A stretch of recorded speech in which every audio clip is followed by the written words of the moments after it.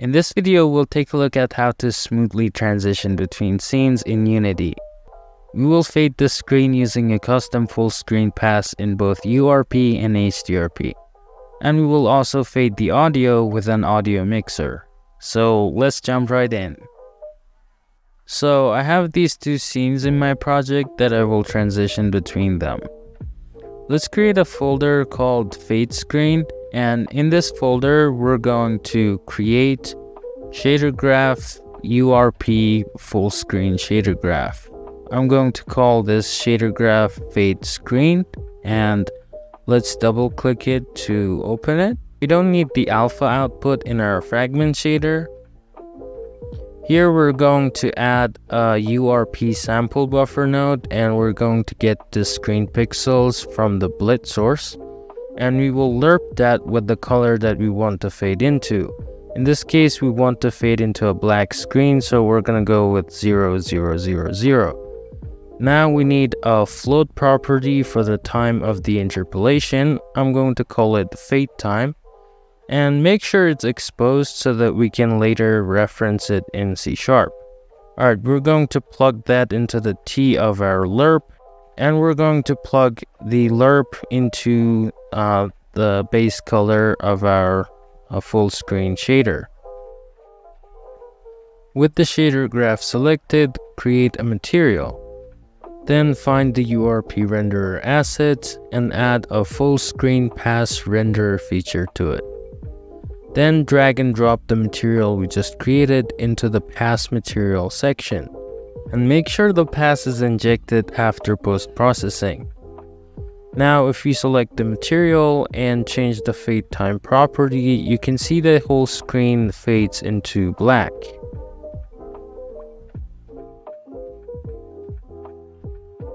Doing this in HDRP is pretty similar. First go to create, shader graph, HDRP, full screen shader graph. And then in the shader, we are again going to have a fade time property that we use to lerp the screen into black. In HDRP, you can get the screen with the HD scene color node. And make sure to check expose to get the color after exposure. And we're going to lerp it into 000 and output the result from our shader. We again need to create a material from our shader. Then in the scene hierarchy, right click and create a custom pass volume. Set the injection point to after post-processing, add a full screen custom pass, and assign the material to the full screen material section.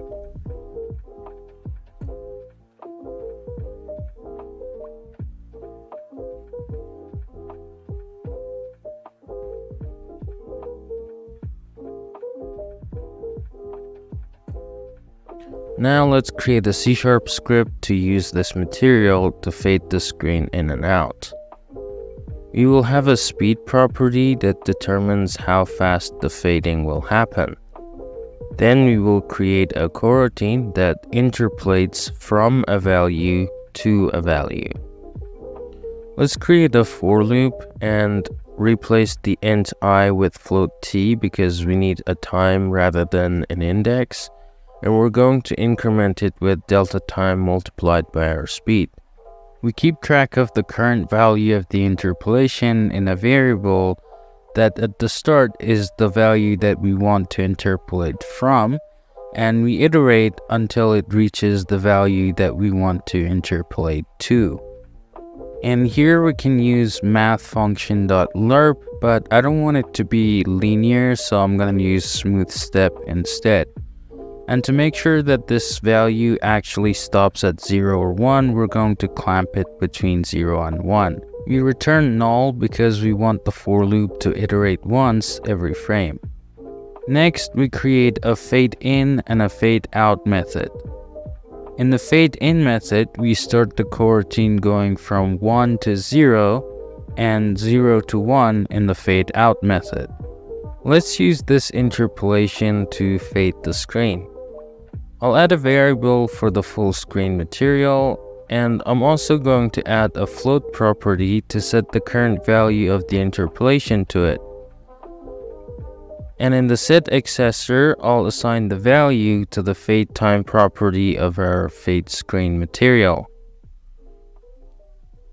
Let's call fade in in the awake method so that the screen fades in when the game starts. Attach this script to a game object, assign the material to it, adjust the speed, and press play.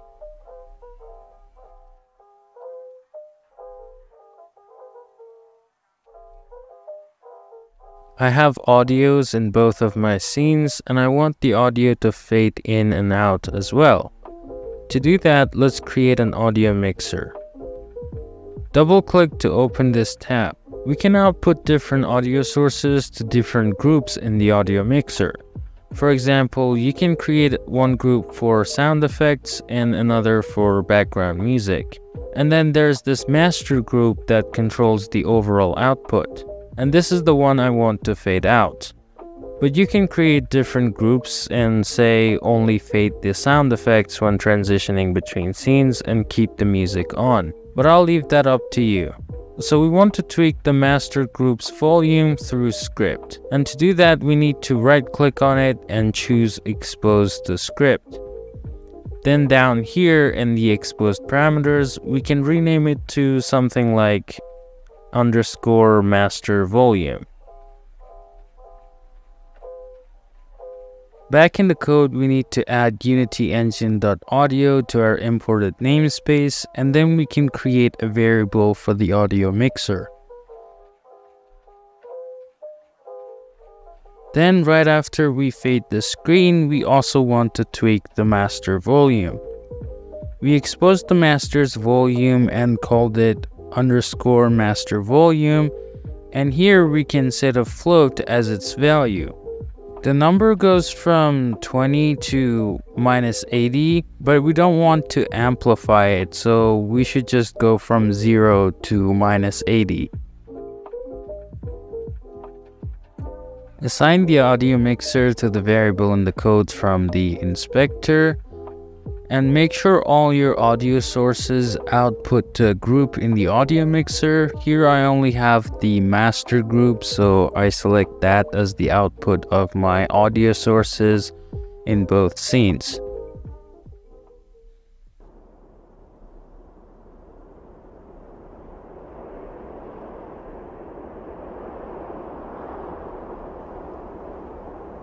Alright, now that we can fade in and out both the screen and the audio, let's see how we can use this to smooth out the transitions between scenes. First thing we want to do is create a prefab of the object that holds the fade screen script, and then we want to add it to all of our scenes. You probably have a level manager or scene manager script in all of your scenes as well, and in that script, we can have a method for fading into a scene, which will start a coroutine that loads the scene asynchronously. And that is when we need to call the fade out method from our fade screen class. For that, we need a way to reference that class, and I'll add a public static instance property so that we can access it easily. We also need to know if the fading interpolation is finished or not. For that, I'll add a public boolean and when the fading starts, set it to false and set it to true when the fading is complete. In the level manager script, we can call the fade out before we start loading the other scene. But if the screen is already fading, we want to wait for it to complete and also after we call the fade out, we want to wait until the fading is complete and then start loading the scene. And this is what it will look like.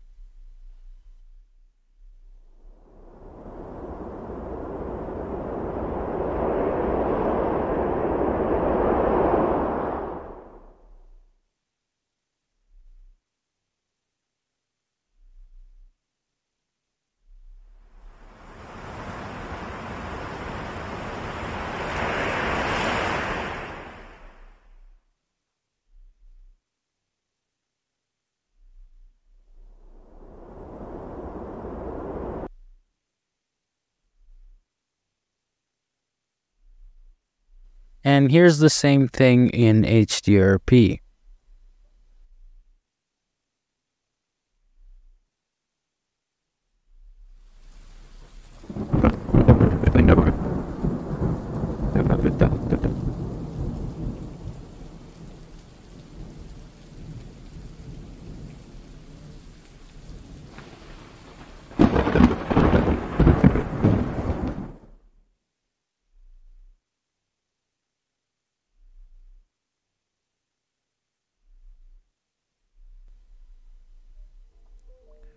This should wrap up this video.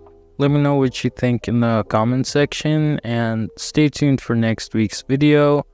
And until then, peace out.